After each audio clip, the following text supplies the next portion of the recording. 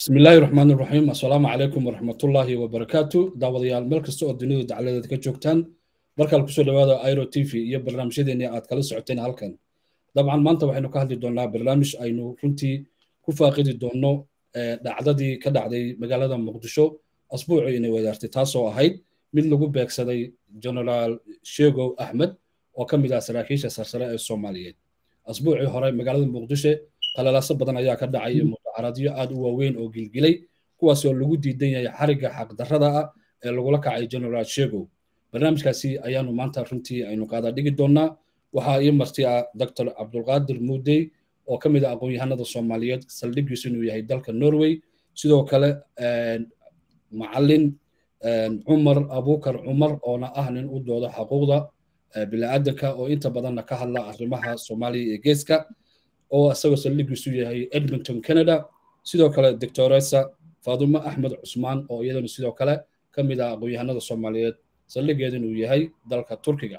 Soo dhoweyn kadib barnaamijka waxaan ku soo dhoweyn doonaa macallin sare cumar ayaan ku soo dhoweyn doonaa. Cumar bal marka koowaad sheegow waa kuma maxaase lagu beegsaday ama lagu haystaa? Soo dhowow bismi illaahi raxmaan raxiim aad baan kaaga mahad celinayaa walaalkeyna maaragtay suxufi abrone iyo iro t v-bo generaalka waxa weeye waad dareemi kartaa siyaabaha micnaha oo ogolba lagu beegsan jiray oo maaragtay in loo beegsaday siyaabahaas unba waaye.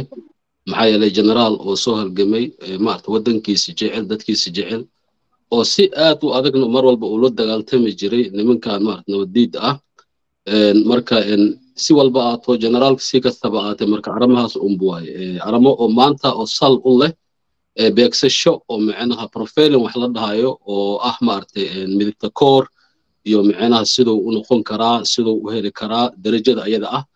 Intaas unbaa loo beegsaday ilaa hadda waxa anaga aan dadka badan soomaalida badanna ay qabaan. Marka arrimaha taas ayaan leeyahay generaalka saas ayaa loo beegsaday waayahay waan ku iman doonaa runtii waxaan u gudboonaa doctor cabdulqaadir mudey oo runtii aqoon-yahan in badanna de soomaaliyana ka soo shaqeeyey waayihiisana runtii geliyay inuu wax bulshada u soo bandhigo doctor su'aashaan ku weydiinaya waxa weeye dad waxay leeyihiin general sheegow in dhoweyd howlgab ayuu ahaa oo shaqo ma hayn oo shaqada waa laga fariisiiyey halka dad kalena leeyihiin ma ahana shaqadiisii uu haystay meel howlgab looga dhigay ma jirto bal hadalkaasi maxaad ka leedahay? Soo dhowow abrona aad iyo aad baad u mahadsan tahay adiga iyo ero t v-ba marka ugu horeysa waxaan ka tacsiyeynaynaa tacsiyada u dirayaa dadkii shaqaaqadaas ku dhintay labada dhinacba wixii dhaawacana allaha bogsiya ayaanu leeyahay. Haddii aan weydiintaada ka warceliyo sheegow axmed cali ma ahayn howlgab ama nin shaqa laga eriyey ma ahayn. Waagii madaxweyne cabdulajo xukunka haystay ayuu wuxuu u safray haddii alla kuu roon yahay dalka turkiya. Turkiya wuxuu ka sii aaday cimra ayuu soo cimraystay cimradii dabadeed ayuu wuxuu ku soo noqday uganda ayuu yimid kambala marka cimradii iyo uu soo gutay ayaa dareen galay ah in si gaar ah loo beegsanayay amaba la rabay in laga takhasuso inkastoo dalka gudihiisa dhowr jeer la weeraray isagoo howl ku jira halgamaya ee u dagaalamayo dadka iyo dalkaba. Ayaa wuxuu dareemay in aan in la rabo in laga takhasuso dabadeed wuxuu u wareegay oo uu degay degaan ka dhigtay kambala muddo markuu joogay kambala amaba geesta africa easta africa kenya iyo tanzania meelahaasu yaa safarre ku tegey shaqo iyo martiqaad dadka ay u fidiyeen ay magaca wadaagaan. Dabadeed wuxuu go'aansaday maadaama nin halgame u yahay inuu dalka dib ugu soo noqdo oo hooshiisii uu wato maadaama isbeddel dhacay. Madaxweynihii hore booskii baneeyey ee madaxweyne xasan sheekhne dalkii madaxa uu ka noqday. Dadkii asaga lamidka ahaana darajadoodii iyo sharaftoodii iyo shaqooyinkoodii dib loogu soo celi markaasuu wuxuu is yidhi aduguna dee hooshaadii meeshaadi ka wado dalka ku noqo sidaas ayuu sheegow axmed cali dalka ugu soo noqday isagoo nabada warbixinna uu dadka siiyey idaacadaha iyo dadka uu ka dhashayba uu yidhi waxaan u imi inaan dalka iyo dadka u shaqeeyo si nabada iyo walaaltinimaa ay ku dheehan tahay. Sidaas ayuuna ugu soo noqday. Ma aheen nin howlgaba nin shaqo laga eriyana ma aheen derajadiisi sidii asagoo u wata oo sida u aaminsan yahay ayuu dalka ugu soo noqday. Dabadeedna waxaad hadda aad markhaati ka tahay baa dhacay. Waayahay waa kugu soo noqon doonaa dabcan waan barnaamijkeenana waan sii gudageli doonaa qeybaha dhexe Eh, doctors of adumaan u yeerayaa. Doctorose ku soo dhawow eh, runtii qof dumara ah adigaa nagala jooga. Marka waxaan jeclahay eh, inaad wixii dhacayay asbuucii hore mudaharaadadii soomaaliya meelo badan gilgilay arrinta lagu heysto generaalka. Kusoo dhawow adigana waxaad ku darayso. Bismillahi wasalaatu wasalaam calaa rasuulillah dhammaan dadka ummadda soomaaliyeed ee daawanaysa waa salaama codkaaga xoogaa saro yarqaad codkaaga saro yarqaad dhammaan ummadda soomaaliyeedna waa salaama ay daawanayso tvgana waa salaama abrone horta wallaahi waa wax aada looga xumaado waxyaabihii ka dhacay maraad magaalada muqdisho sheegan wuxuu ahaa nin jarnaal oo dalkan in badan u soo halgamay inta uu qabtayna ay saddex saarneen ummadoo dhanna ay wada og tahay. Sheego wixii ku dhacay horta aad iyo aad ayaan uga xunnahay. Qofka waa qof bashar ah waxa agjooga waa ciidan. Asaga hadda dembi galay ma aysan dhihin idaacada hadlaysay. Waxay sheegeen in dadkii ilaaladiisa ahaa ee la joogay uu raaj soo galay.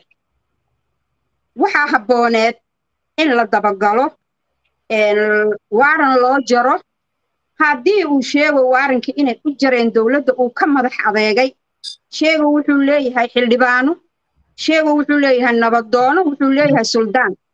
Wey loo maruu lahaa. Asagoo intaas loo marin ayaa waxaa loogula dhacay hubkii magaalada. Sidii ogaanta ummadda u baabi'iyey guryihii u baabi'iyey naf iyo maalba ay ku baabi'een horta taas waa wax aad looga xumaado. Waddan ay dowladii ka dhisan tahay in nin mas'uul ah oo sidaa loola dhaqmo wax aad iyo aad u sharaf daran waay. Waxaana taas ay sumcaddeeda ku xumaanaysaa madaxweynaha jamhuuriyadda ee waddanka haysta maanta. Waayo nin sarkaale waad u jeeday sida ciyaalka yar yar inay saas kuleetigiisa u qabteen ay ku eryaayeen ay shuute shuute shuute lahayn sharaftaas ma mudnayn sheegow. Sheegow nin mas'uulahu ahaa. Shacabka aad u jeedid oo gadoodayna waxay u gadoodeen ninkoodii sharafta lahaa ee in badan waddankan ka soo shaqeeyey la dagaalamay nabaddiidka in sidaas loo galo aad wax looga xumaado. Waay annaga kaligeen maaha dad badan oo ummadda soomaaliyeed ahaa saas oga xumaaday. Bannaanbaxyadii ka dhacaaya magaalada muqdisho intii aan joogay mid aan midkaan la matayla ma ahayn ma lahayn. Dadka waxaa kiciyey khadiyadaa kicisay. Mudaaharaad la samaynaya waxaan arki jirnay mid lacag lagu fangaraynayo laakiin qof walba maalintaas mudaaharaadka bixinayay wuxuu ka gadooday dhibaatada iyo falka xun oo loo galay sheego waa midna aad looga xumaado waxaana filayna ma aha taasna waxaan ku cambaaraynaa dalkii dadkii falkaas galay iyo sida xun ay ugula dhaqmeen ay sharaftiisa meel ku rideen jarnaal sheegow waayahay waad mahadsan tahay doctoresa macalin cumar baan u imanayaa. Horaantii maalmihii shaqaaqadu bilaabatay booliiska nin u hadlay afhayeena wuxuu sheegay laba arrimood runtii in lagu haysto generaalka marka hore waxay yidhahdeen dhalinyaro ka amar qaata ayaa dadka telefoonada ka soo qaata oo amni darray abuureen. Haddana mar kale wuxuu yidhi guriga generaalka ayaa waxaa gudihiisa lagu sameeyaa lacago foojari ah oo macmala oo aanan la ogoleen labada arrimood markaad eegto maxaa adiga kaaga soo baxay? Hadalkaasi maxaa ka jira wallaahi waa iska hadal oo la soo dhoodhoobay oo maanta waxba aan ka jirin oo laakiin ay ugu talagaleen nimanka ayaga ah generaalka sida sharaftiisa iyo dadnimadiisii iyo maaragtay iyo maaragtay waxyaalo ay u geersin lahayn asaga iyo maaragtay ragga markaas oo la noolaya sababto waxa waaye haddii meesha oo dowlad wacan ama dowlad wanaagsan ay jirtabo aan waxaan eedeynaya ayaa ah.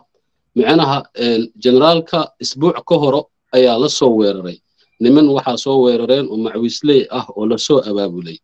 Dagaalkaasoo oo forty five minute camal socday oo lis rasaaseeyey marka waxaa maaragtay cajiib ah meeshu waxay leedahay maaragtay saldhig oo booliis baa ku yaalo ilaahay waa ku runya waa meesha caasimadii gudaheed waaye. Haddii ninkan waxa nin maanta sarkaal sare generaal sare aya waaye oo macnaha waddanka u soo shaqeeyey haddii wanaag ay jiraan laheeday waxay ahayd generaalka inay tagaan hataa shaqaaqada meesha ka dhacday ay ka war doonaan. Ilan waa dadkii ayaga le waay dadkii soo abaabul waay. Kuwa hadda oo weerareen isbuuc ka hore ee kadib iyo kuwa isbuuc ka hore weeraray isku dadkii unbu waay. Marka waxaad arkaysaa aad meesha dareemi karnaa in waxaan wax la soo abaabulay oo maamulka meesha ay soo abaabuleen sidii generaalka ay ku dili lahaayeen ay sumcaddiisana ay hoos ugu dhigi lahaayeen. Tan kale hadda ay leedahay ma artay waxay ku eedeeyeen in ma aragtay black money meesha gurigiisa lagu samaynayo in ma aragtay rag asiga oo markaas staafkiisa ah ay soo dhacayaan waxyaabaha mobile iyo waxyaabahaas. Hadalkii wax isqabanaya ma ahan. Nin maanta black money oo samaynaya makiinada kaligeed imisa lacag ay joogtahay. Hay hadduu samaysta black money u s dollar uu samaysanayo waaye oo staafkiisa ay u soo dhacayaan maaragtay mobelo marka waxa waaye waa aran aad oo maaragtay ay u dhalisay oo raggi badan maaragtay iska dareemi karaan ummadii badan ay ku kaceen waxaan aad aga xumaan waay. Nin markas oo sarkaal ah booliiska dhan afaayeen u ah inuu saas u hadlo oo haddina uu ku tilmaamo jananka inuusan ahaynin generaal micnaha hadalkii iskhilaafaya micnaheeda waxa waaye madaxweynihii dekreetadii uu soo saaray iyo heshiiskii ay ku galeen wixii oo dhanbu asiga meesha ayuu ka bixiyey wixii raba uu iska sheegay. Marka waxaa wax laga xumaada ah ummadda soomaaliyeed goorma ay gaari kartaa cadaalad iyo horumar. Haddii qof walbo uu doonayo wixii rabo inuu iska sameeyo marka waxaas wax marka oo marna la yeeli kara ma'aan marna la aqbali kara ma'aan cayaalka yaryar ayaa maaragtay garan karaan iska dhaafbo. Qof ilaahay garaad iyo maaragtay oo aqoon siiye inuu hadalkaas qaato. Waayahay dee doctor cabdiqaadir muudey dabcan markaynu ka hadlayno qof mas'uul ah oo qaladka doona ha dhaco dadka soomaaliyeed waxay aad uga caroodeen ama ka gilgisheen qaabkii loola dhaqmay generaalka iyo sidii runtii loo waday ee ciidamada u wadeen si aad u foolxun oo aan runtii weliba dee la duubayay oo social mediaha meel walba la soo dhigayay. Waad ka soo shaqaysay waddanka xuquuqda waddanka iyo shaqaad waad garanaysaa. Sawirkaasi maxaa adigu kaaga soo baxay horta sawirkaasi sawir wanaagsan ma aha nin aqoon leh ee dowladnimo yaqaan ama sharciga waxa uu yahay ogna wax uu ku dhaqmo ama uu ku dhaqaaqo maaha sida lagula dhaqmay jananka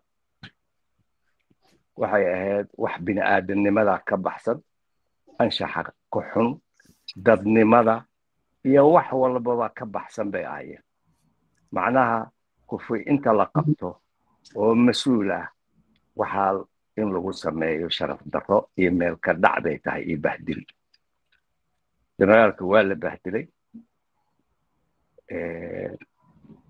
Wax oo aan lagu sameyn ma jiraan waa la dirjilay oo la dilay oo la jirdilay waxay ahayd haddiiba la qabtay in dariiqa lagu soo lugaysiiyo shaarka la qabto oo lagu oriyo oo la yidhaahdo dee waxyaalaha aad maqlaysa. Dhiiggayga kulli magaciya waa wax iska waxaad arkaysid weeyaan bareer weeyaan.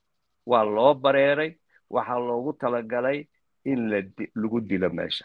Maba ahanba in la soo qabto oo dee nasiib bayba noqotay inay gacanta ku soo degaan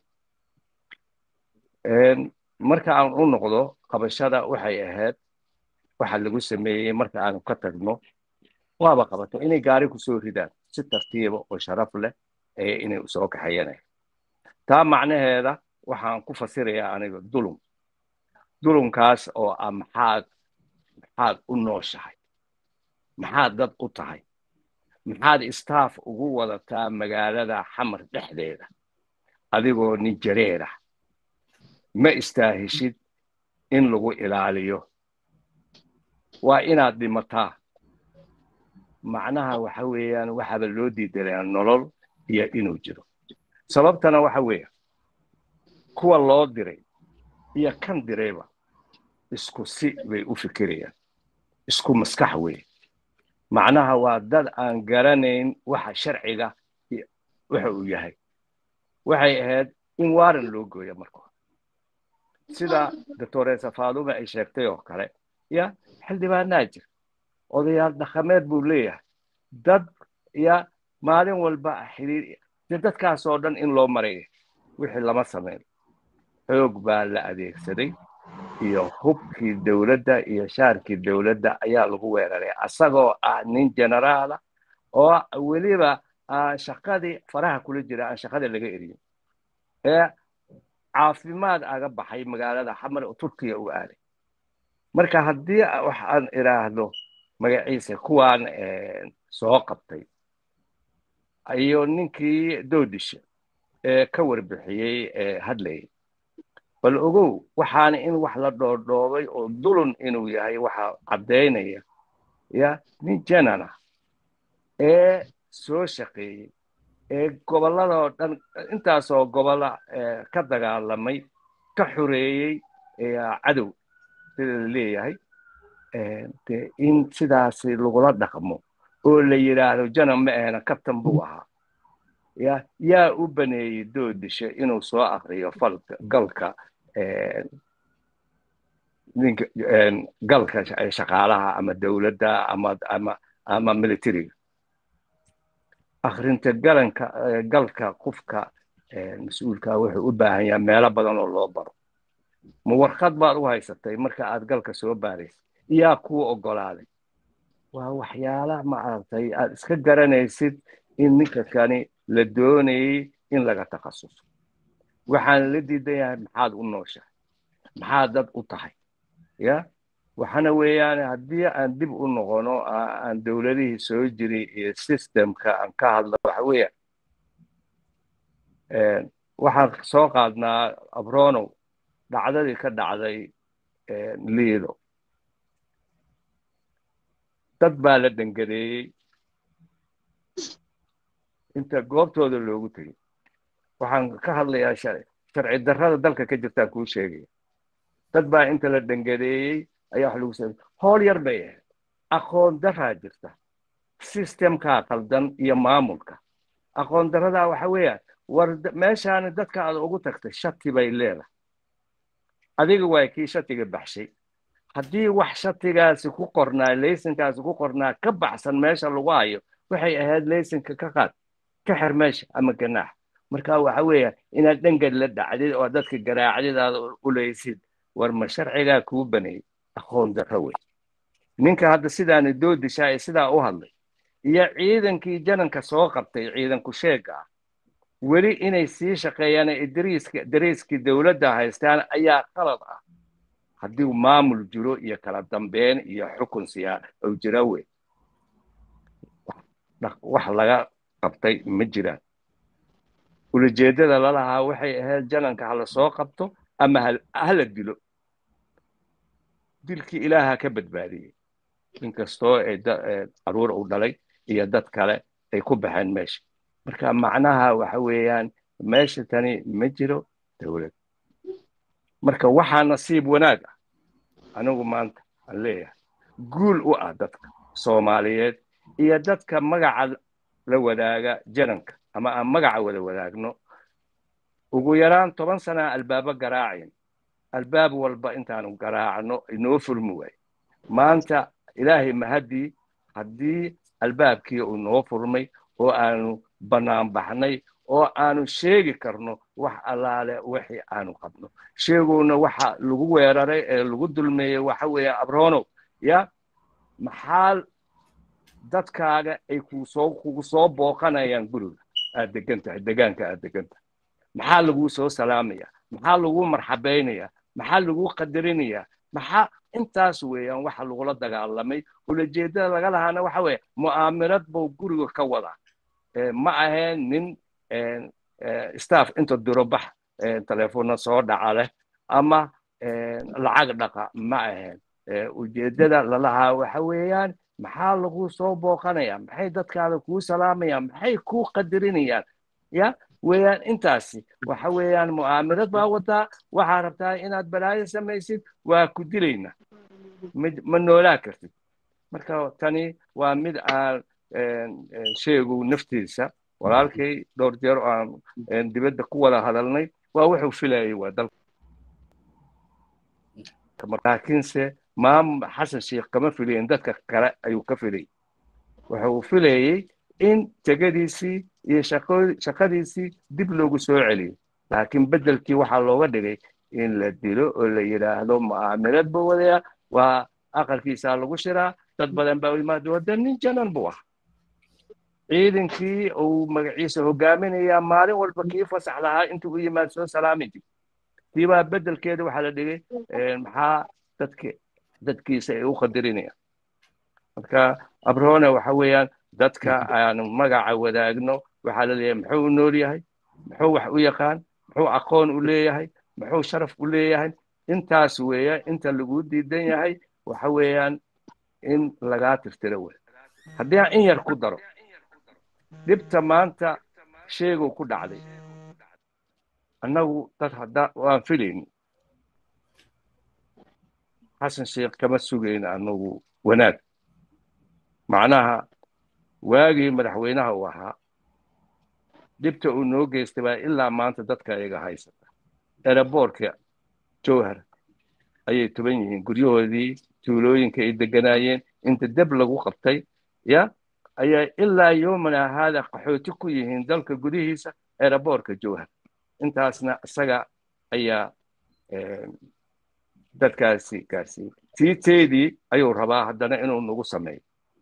Marka qabashadan sheegow la qabtay ama uu maanta u xiran yahay annagu waxay noo tahay reen reen xurnimo dadnimo iyo midna midaysay. Dadka iyaga ayaa ku midoobay alxamdulilah baan joognaa. Waayahay waayahay qaybihii dhexe barnaamijka. Ayaynu ku jirnaa aynu kaga hadlaynay xarigii loo geystay generaal sheegow axmed cali doctorese faaduma ayaan mar kale u yeerayaa doctorese runtii iminka waxaad ku sugan tahay saad sheegtay dalka turkiga. Jaaliyadda beelaha beelihiinan ballaaran gobollada aadka u ballaaran degan maxaa uga qarshaysan arrintan ama maxay tahay falcelinta aad hadda diyaarka la tihiin? Soo dhowo mar kale. Annaga qowmiyadda jareer haddaan nahay waxa annaga hadda noo qorshaysan oo aan warka sugayno waa madaxweynaha dalka. Xasan sheekh inuu horta marka koowaad xuriyaddiisii uu dib ugu soo celiyo jarnaal ma ahaynba inuu intaan madaxweynaha uu ka aamusnaa. Xataa waxay ahayd inuu si hoose ee dadkii dhibaanadii iyo odayaalkii uu si hoose inuu arrintan ugula soo xiriiro. Xataa ma u malaynayo inuu madaxweynihii wax arrintan hal berin inuu ka hadlay.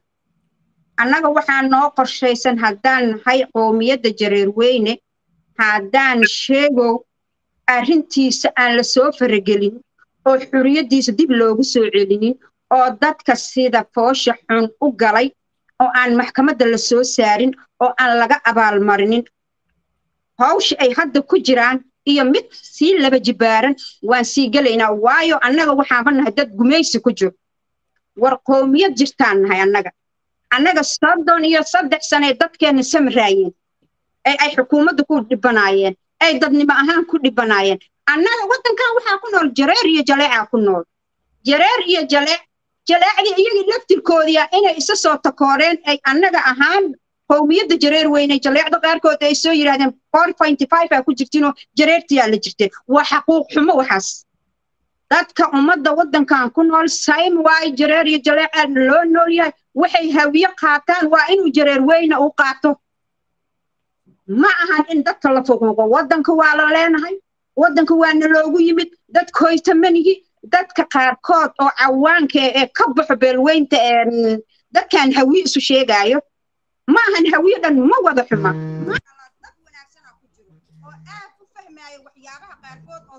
Oo annaga haddaan qoomiyadda jareer waxaan diyaar u nahay oo aan diyaar u nahay nabad intaan soddon iyo saddexdan sano waxaan u dulqaadanaynin yuusan burbur waddankiina u dhicin waxaan u samrayna dabaalnimo ma ahayn oo xoog daro ma ahayn oo hubla'aanna ma ahayn. Laakiin waxaan nahay dad waddanka aawadamba kale oo dalkooda inuu u dhismo oo aan dagaal sokeeye ka ridin intaaseed. Haddaan aamuusnayna waxaana lagu jawaabay keni in la gubo nolosha lagu gubo.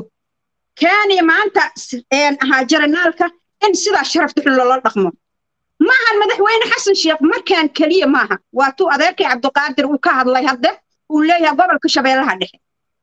Isaga joogo labada kun toban iyo saddexdii ayaa shaarkiisi loogu gumaaday. Dad shiidle ahoo gobolka shabeellaha dhexe dego oo shiidle ahoo gobolkaas leh ayaa shaarkiisii lagu gumaaday. Axbada lala dhacay.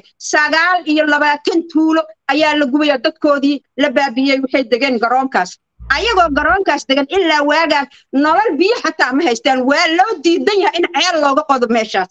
Maxaa sababay? Ma waysan ahayn dad mubaadan ah. Ma waysan ahayn dad soomaaliya oo waddanku u dhashay. Gobolka shabeellaha shiidla iska leh. Maxay ku leeyihiin hadda waxay ku leeyihiin malaan. Hadduu maanta madaxweyne u qaato daris waxaan nahay abgaal. Gobolka shabeellaha dhexe annagaa iskale hadduu isaga madaxweyne u qaato waa inay shiid la hesho gudoomiye baarlamaan inay ahayd lama siinin intaas waxaanu arkaa yastin. Qowmiyadda jareerweyne way soo kacday meel walba ay ku dulman yihiin inay xaqooda ay helaan ay ka dhiidhiyaan. Tan sheegow maanta waxay noo noqotay iftiin noo baxay. Dagaal wax ku dooni mayne mudaaharaadaan bixinaynaa nabadaan raadinaynaa waa in xaqeennii maqnaa iyo ninkeennii ay haystaanna ay noo soo deeyaan. Soddon iyo saddex sanaan ciriiri ku jirnay soddon iyo saddex sanaan samraynay marka ha isgartaano dadkaan isku sheegay waxaan nahay beelaha waaweyn beelaha laga tira badan annagana lagama tiro badna. Maanta gobolka banaadir ha la soo baxo haddii la yidhaha jareer ha soo baxdo jaleecna ha soo baxo haddii la yidhaha inay jareer meel ay istaagaan laamiyada muqdisho dhan ay xiranayaan taas anaa marqaatigeeda war ilaahay ha laga boqo. War allah ha laga boqo. Waxaan dad waddanka ka dhexeeyaan nahay dad waddanka wax ku lahaan nahay dad isla degtiinuu ilaahay isu keenayaan nahay. War dhulkaan asagaa naga badan. Yaan lees xaqirin. Oo meel walbay ku dulmisan yihiin. Oo baarlamaankii ay ku dulmisan yihiin. Madaxweyne waxaan ku leeyahay madaxweyne xaquuqooyinka uu bixinayo ma siiyo. War hadda dadaa la dagaalamaya qawaariijoo ka mid a beelweynta. Ma helaan xaquuqda ay helaan. Dadka kale ciidanka kale ay helaan. Ma helaan. Maxaa keenay? Intaas waa yastin ay noo qabaan annaga waxaana la yidhaha dad nabad jecel. Waxaan nahay dad lala dhaqmi karo dad deriska jecel dad dalkana rabo. Dagaal wax ku dooni mayne. Annaga ilaa xasan sheekh uu ka soo hadlo waxaan wadaynaa mudaaharaad. Ilaa uu ka soo deeyo madaxweynuhu noo yahay jaranaalkeen annaga madaxweynuu noo yahay. Waayo waxana soo kiciyey maanta jaranaal sheegoo waaye mana qaadanayno quursi dulmi ma rabno. Waxaan oga digaa dowladda uu hogaamiyo xasan sheekh inuu gadaal u soo eego xuquuqdan maqan dadkaanne yaan lagu tumanin annaga waa soo kacnay sheegow madaxiisaa u soo kacnay waan samri jirnay samirkii waa dhignay kalka nabadaan wax ku raadinayn haddaan nabad ku wax ku weynane bal ayaga qoriga wax ku helana qorigii annagana qaadanaynaa laakiin yaan intaasna lagu kalifin. Waa inuu soo hadlaa madaxweyne waayahay aad baad umahadsantaa gebagabadii barnaamijkan ku jirnaa. Macalin cumar baan u yeerayaa. Macalin cumar maadaama aad macalina tahay qof xuquuqda aadamaha u doodanaad tahay sideed idinkoo arrintan u aragtaan sidee oo la falgasheen maxaa idin kaga qorshaysan? Maxaad qorteen? Maxaad ka gudbiseen? Waa meeshaas dhimasho iyo dhaawac baa ka dhacay meesha wixii ka dhacay. Mudaaharaadyaa weli jira xuquuqdii baa weli dad badan ay doonayaan. Idinku hay'adaha aad la shaqayso maxaa idin diyaarsan? Maxaadse diyaariseen horta abrono waxa waaye ilaa hadda hooshaa lagu guda jiraa dacwooyin badan baa la qoray. Waxaana ku dhiirigeliyeenaa dadka soomaaliya joogo waddanka dhammaan banaanbaxa waxa ka qayb qaadanaya waa dad hataa waxaad arkaysaa walaalahiina habiyaha dadka nabadda jecel oo ka mid ah maarata inay ka qayb qaadanayaan degel iyo miriflo. Sidoo kale marka sida loo wada dhan yahay waxaan dhihi karaa soomaaliya oo dhan maaragtay intiiba damiir leh oo dulmiga diidan ay ka qayb qaataan marka wixii qorshe ah oo ah dacwo ah waa aan gudbinay waanu gudbinaynaa qorsheheeda waan ku wadnaa sababtoo ah wax loo maanta xaquuqul aadanaha wax macnaha u dulqaadan kara ma ahan. Aniga maadaama oo sida loola dhaqmay generaalka iyo midabta koorkan oo oo iska jiro oo wax aan kala joogsanaynin ah sida ay sheegtay walaashiina ditoreyso xaquuqdii badan hadda for example waxaa loola dagaaltamaa lagu leeyahay khawaariijka dadkaas oo maaragtay macwiisley oo maaragtay tolo walbo qabiil walba macwiisley ay leeyihiin. Macwiisleyda oo maanta qoomiyadda jareerweyn ay ay ku aftirsadaan hadday yihiin walaalihiina makane iyo maaragtay shiidlo oo afjar ciidamo la dhahaya jiro oo labada dhinac ah. Hataa kuwa ayaga ka mid ahaa maamulka hirshabelle ka mid ahaa oo maaragtay sarkaal sare oo hogaaminayo jaylaani farol hogaaminayo kuwaasaa hataa wax rasaas ah isaaniyad ah midkood aan la siinaynin cadowna waxa waaye waxay aga fidhiyaan waa hor joogaan. Cadawi waa hor joogaan. Waxa laaka ayaan dara ah dowlad anaga aan xisaabsanayno oo dowladdeena aan leenahay taageer iyo dadnimo aan u muujinayno oo ayagana cadowba maanta oo koowaad oy fiirsanayaan inuu yahay maaragtay qoomiyaddan jareerweyn ay fiirsanayaan marka waxa waaye walaalihiina habiye inay isqabtaan habiye aan anaga ilan hadda waxa waxaan la degannahay maanta oo maamulka hadda keli isku soo koobay oo isku soo koobay waxa waaye laba qabiil waay. Labada qabiil maamulka isku soo koobeen war niman walaalihiin aan nahay in xaqa oo maanta qoomiyadda jareerweyne ay siiyaan.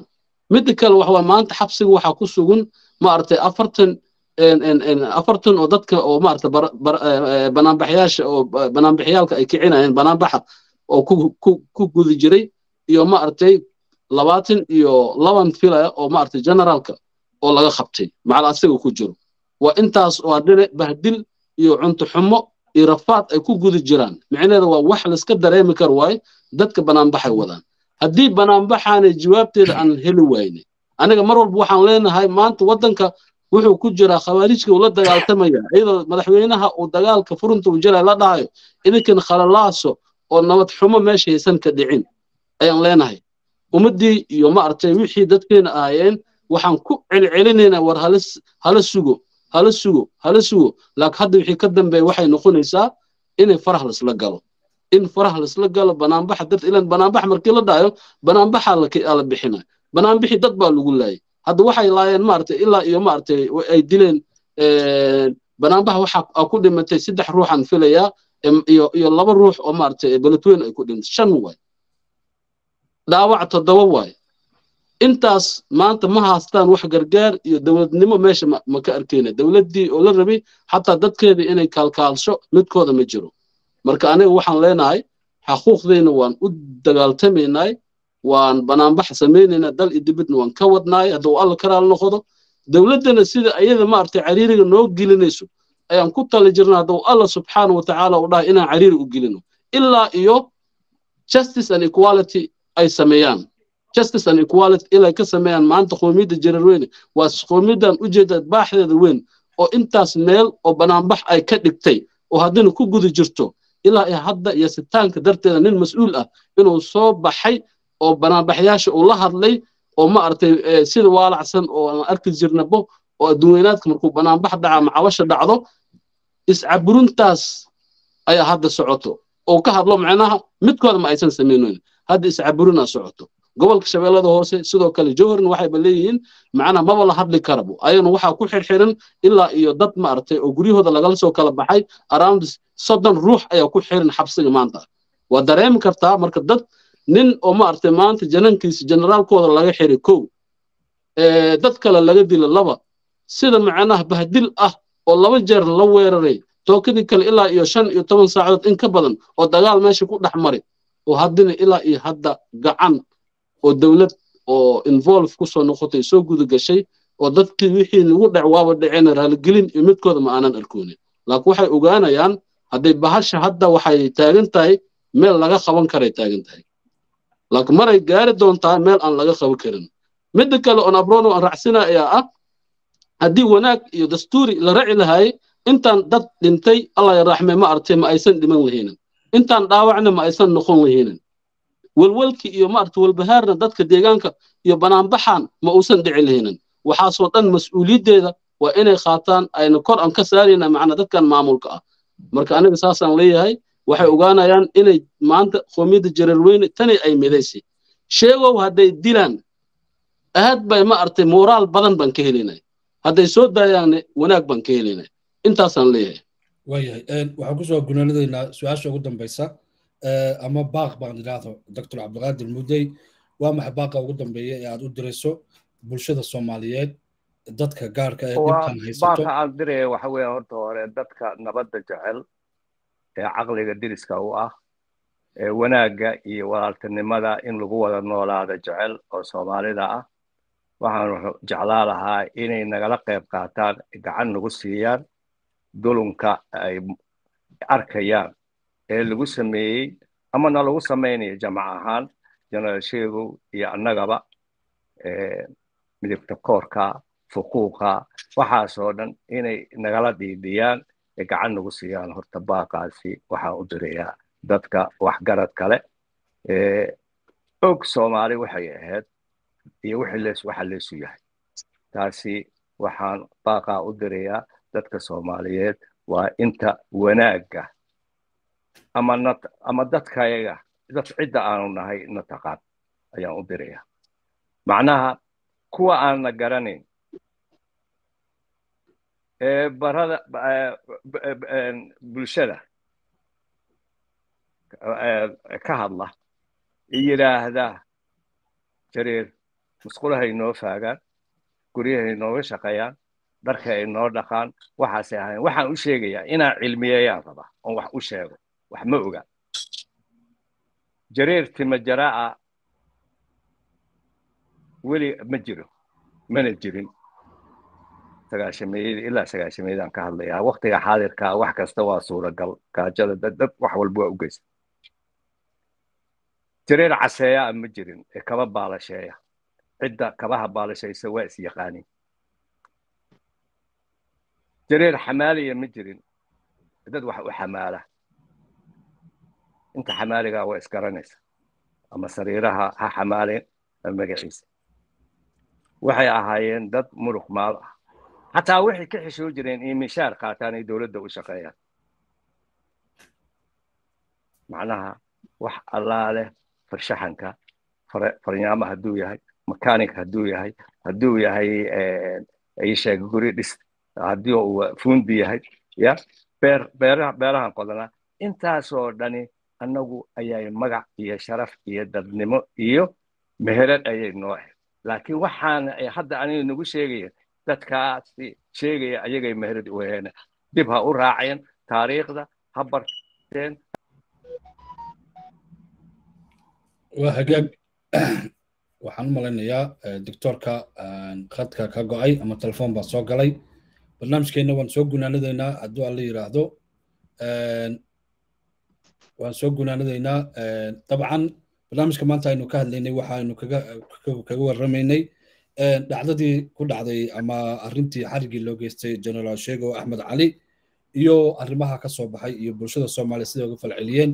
Barnaamijkan waxaa inoogu marti ahaa doctor cabdiqaadir muudey aqoonyahanada soomaaliyeed jooga dalka norway doctor faadimo axmed cusmaan sidoo kale aqoonyahanada soomaaliyeed faadimo hal mid ayaan rabay inaan ku baaqo ummadda soomaaliyeed. soo dhawo soo dhawo waxaan dhammaan horta qowmiyadda jareer weyne aan ugu baaqayaa banaanbax hadday qabanayaan yaysan dhicin inay wax jejebiyaan inay laamiyada wax ku gubaan waxaan afkaaga aadan ku keenin burburin kuma imaanayso. Waa in la dhigo banaanbax nabadeed. Waa ayagoo saliima oo codkooda dhiibana aysan cid caburin karin. Inay meeshaas iyo dariiqaas ay codkooda si nadiifa ay ku dhiibtaan. Tan kaloo labaadna waxaan u baaqayaa dowladda. Shacabkaas soo banaanbaxay lama caburin karo. Xabadna laguma furi karo. Si nabad ah oo naxariisa nabadoo ha ku dhammaystaana banaanbaxooda. Waayo waxa ka xiran waa mas'uul marka taasna waxaa ugu baaqaa dowladda waa inay ammaankooda sugaan nabadii ay ku dhammaato. Inta uu ka soo baxayo sheegowna shacabkaas miday joogsan doonaan ma aha. Marka waxaan leeyahay nabad ha ku dhammaato. Inta dhimanna insha allah waxaan ka sugaynaa mas'uuliyiinta dalka. Aad iyo aad baad u tahay. Inta ayaan ku soo afmeeraynaa barnaamijkeenii. Maanta wixii talaya tusaalaha waxaad noogu soo hagaajin karaysaan airo t v at gmail dot com. Macalin cumar iyo doctor yusuf faaduma aad iyo aad baad umahadsantihiin iyo dhammaan daawadayaasha soomaaliyeed ee qadarinta leh ee online ku jiray intana daawanaysa waxmahay doctor cabdulqaadir waa uu ka go'ay intaa barnaamijka mid lamid ku kulmeen waxaan leenahay asalaamu calaykum waraxmatullaahi wabarakaatu